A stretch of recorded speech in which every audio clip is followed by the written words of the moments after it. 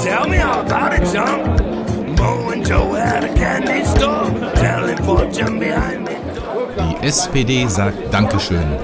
Mit einem sehr unterhaltsamen Abend unter Weggefährten und Freunden verabschiedete sich der SPD-Kreisverband von seinem langjährigen Bundestagsabgeordneten und ehemaligen Staatssekretärs Klaus Brandner. Rund 130 Gäste ließen es sich nicht nehmen, persönlich zur Abschiedsfeier zu erscheinen, um im kleinen Saal der Stadthalle Gütersloh den gebürtigen Fährler zu feiern und ihm für sein Engagement in Bonn und Berlin ausgiebig zu danken. Der Anfang der kurzweiligen Dankesreden machte der SPD-Kreisvorsitzende und Landtagsabgeordnete Hansi Feuß, der zunächst Klaus Brandner begrüßte und sich zusätzlich noch über eine Handvoll besonderer Ehrengäste freuen durfte. Wir begrüßen natürlich auch die neue Bundestagsabgeordnete, die den Wahlkreis Bielefeld wieder direkt geholt hat, Christina Kampmann. Christina, herzlich willkommen. Der freudigen Begrüßung durch Hansi Feust betrat der wohl prominenteste Überraschungsgast die Bühne. Ein Mann, mit dem Klaus Brandner in keinster Weise gerechnet hatte. Kein geringerer als der ehemalige Bundesminister für Arbeit und Soziales, Walter Riester, gab sich die Ehre, um mit gemeinsamen Erinnerungen und bundespolitischen Meilensteinen aus Zeiten mit Klaus Brandner die Gäste zu begeistern. Und Klaus war die Angel zwischen Parlament und Regierung und zwischen Berlin und den Gewerkschaften. Ein nicht einfacher Spagat manchmal. Und ich habe sie mir nachfügen können, wenn eine Mama zu mir kam und sagte, weißt du, weißt ja, ich stehe auch bei schwierigen Geschichten. Und ich wusste es, auf den Klaus konnte man sich verlassen. Neben der Riester-Rede lud Gastmoderator Thorsten Wagner auch noch zur lockeren Gesprächsrunden mit interessanten Gästen auf die Bühne ein.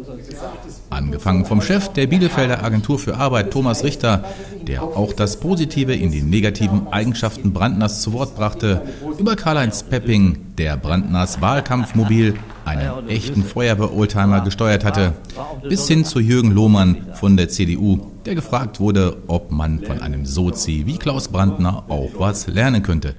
Ich glaube, das hat gar nicht äh, unbedingt was mit parteipolitischer Einstellung zu tun. Es kommt wirklich mehr auf die Personen an. Und wenn man einen ehrlichen Gegenüber hat, der in der Sache sehr bewandert ist, dann kann man davon lernen. Ganz nebenbei wurden die interessierten Gäste auf lustige Art und Weise in allerlei Geschichten und kleineren Sticheleien eingeweiht. Kein Wunder, dass dabei der ein oder andere Lacher im Publikum nicht ausblieb. Meine Reaktion war, wir werden nie Freunde. Der Höhepunkt des Abends sollte allerdings eine Briefmarke sein, die das Konterfei des ehemaligen Staatssekretärs Klaus Brandner in sich trug. Ein Symbol für den Einsatz für die Menschen in Deutschland und unserer Region.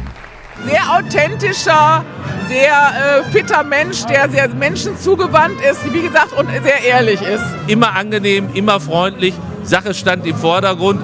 Er wusste, ich bin bei der anderen Partei.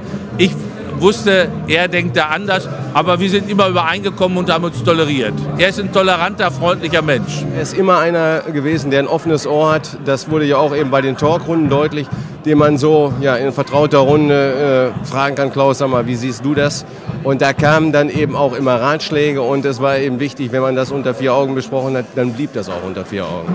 Er hat mal gesagt, man muss die Menschen mitnehmen. Die Überzeugung habe ich auch und das hat er tatsächlich auch gemacht. Er hat Leute nicht einfach auf der Strecke gelassen, so Platz da, jetzt komme ich, sondern er hat sich immer derer erinnert, mit denen er was bewegt hat und die hat er auch mitgenommen. Wenn ich ihn angesprochen habe, sei es auf ein Anliegen der Stadt oder ein parteipolitisches Anliegen, er hat sich immer gekümmert und hat immer auch sofort reagiert und sich zurückgemeldet. Aber er hat ein, das Anliegen immer ganz, ganz ernst genommen. Er ist ein toller Mensch.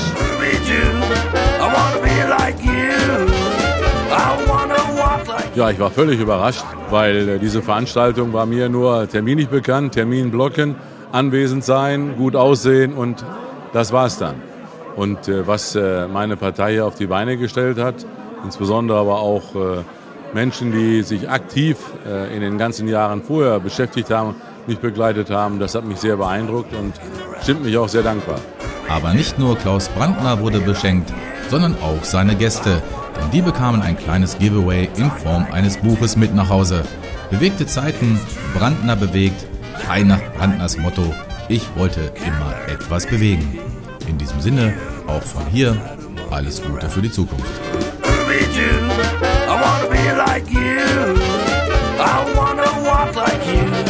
Talk like you do.